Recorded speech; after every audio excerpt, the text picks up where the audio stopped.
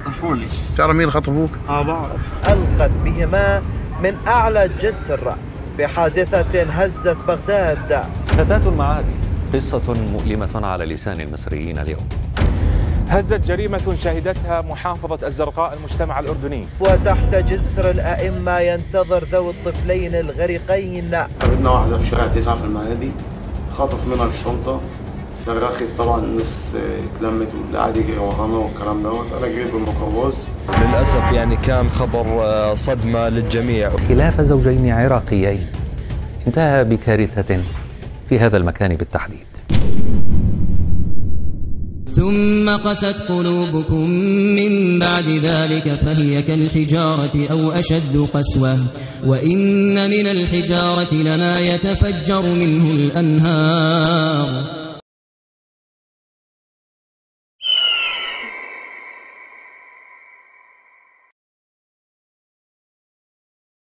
يعني تسأل نفسك أحيانا وتقول هذه الأم لما ألقت بابنها الأول في النهر ألم تتردد في رمي الثاني؟ ألم تحزن لمشهد الأول وهو يغرق؟ ألم يصرخ ضميرها بصوت ابنها أمي ساعديني؟ ألم يرتجف قلبها عندما تذكرت حملها بهم؟ إطعامهم إلباسهم سهرها لأجلهم. ألم يرتجف قلبها لنظرات أبنائها البريئة لها؟ وقمة أمان الطفل في كنف أمه. عندما قطعوا يده اليمنى ألم يتردد ذلك المجرم في قطع اليسرى؟ وصالح يردد الله أكبر الله أكبر. ألم يحزن لشاب ضعيف بين ثلة من المجرمين يستحلون جسده؟ ألم يتخيل ذلك المجرم نفسه أمام الله وصالح يلتجئ له؟ أو عندما تم الاعتداء عليها وسرقة حقيبتها وإسقاطها أرضا ألم يتردد هؤلاء المجرمين في قتلها بعد ذلك؟ وهي امرأة وحيدة ضعيفة لا حول لها ولا قوة. عندما وعندما وعندما قست قلوبكم قست قلوبكم قست قلوبكم. والذين يؤمنون بما أنزل إليك وما أنزل من قبلك وبالآخرة هم يوقنون. والله الأمر محزن جدا. يعني عندما يقسو القلب على الرحمة السلام بكل أمانة لا يهمني هؤلاء المجرمين بمثقال ذرة. أسأل الله عز وجل أن يحاسبهم بمثل أعمالهم. وهناك قانون يحاسبهم على هذه الجرائم.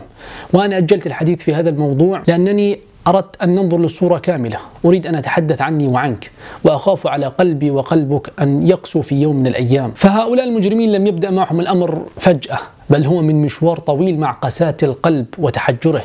من مشوار طويل من الاستماع إلى الشيطان ووسوساته من مشوار طويل في البعد عن الله عز وجل. فهل أنت على ذلك الطريق؟ هذا السؤال الذي يجب أن يطرح. لأن ذلك يحدد إن كان سيقسو قلبك أم لا. أي مجرم عنيف ذات مرة كان طفل بريء. هذه مقولة أحد الأطباء النفسيين.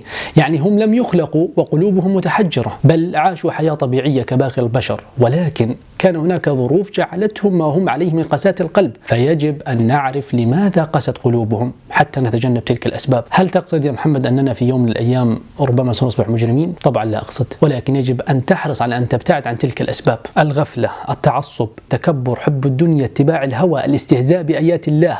الكفر الكفر. جلست مرة صدفة مع أحد الأشخاص أثناء محاولتي استئجار سيارة من شركة خاصة. فقال لي المسؤول هناك وسيجارة الحشيش بين أصابعه لو اسمك ليس محمد لعزمتك على واحدة. فقلت مستغربا أهذا فقط ما يمنعك؟ قال نعم يعني ما أجمل الحياة وأخذ يحدثني عن نزواته ومعاصيه وزناه وترهيبه للخلق. فخرجت من هناك في عقلي سؤال واحد كيف يفكر بهذا الشكل أو بالأصح؟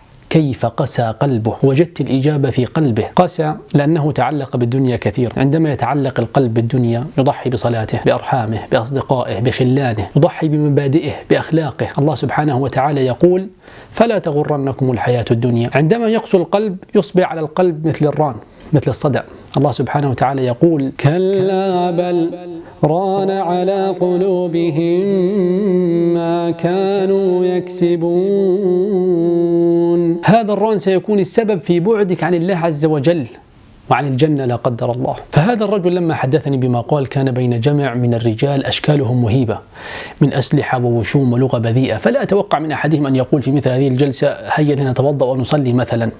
فالمرء على دين خليله وكن من تكن من صلاح. إذا صاحبت صاحب سوء ذهب صلاحك معه وقسى قلبك. الرسول صلى الله عليه وسلم يقول المرء على دين خليله. قسى بسبب الصحبة الفاسدة فابتعد عن كل ما يؤذيك من الصحبة الفاسدة. فكر الآن. فكر الآن بأشخاص في محيطك.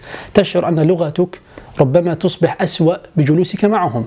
أفعالك ربما تصبح أسوأ بجلوسك معهم. هؤلاء يسحبونك إليهم. فاحرص على اختيار هذه الصحبة. وأحيانا كثيرة لا نشعر بتأثيرهم إلا بعد فوات الأوان وهذه الطامة الصراحة. يقول أحدهم في أول معصية لي شعرت بالندم الشديد واستغفرت الله كثيرا ولكنني الآن أعصي الله ولا أشعر بشيء ولا أشعر أن الأمر يستحق الاستغفار حتى وكأن قلبي بدأ بالتحجر. نعم القلب يقسو عندما ترتكب الذنب أو المعصية ولا تستغفر الله عز وجل. ولكن كيف يفكر من قسى قلبه أو كيف يفكر المجرم؟ يعني كيف يمكن لشخص أن يكون بهذا البرود بهذه اللامبالاة بهذه اللا رحمة أو كل الصفات هذه معا؟ كيف؟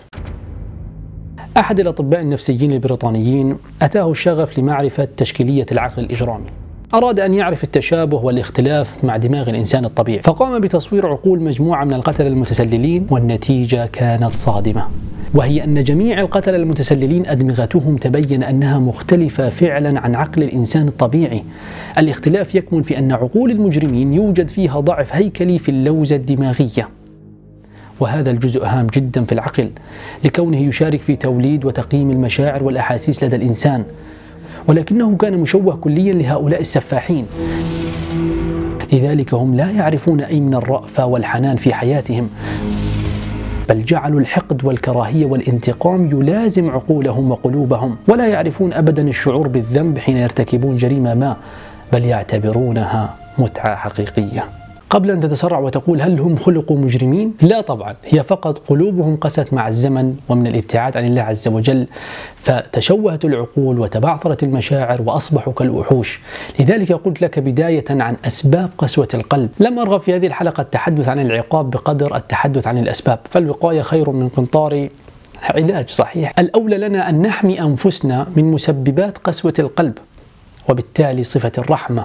وما أجملها من صفة. في النهاية أحبتي في الله شاركني برأيك في مكان التعليقات ودمتم في أمان الله. صاحب الهم إن الهم منفرج. أبشر بخير فإن الفارج الله. إن كان لا يرجوك إلا محسن. بسم الله الرحمن الرحيم. من أين نبدأ؟ من أين من أين نبدأ؟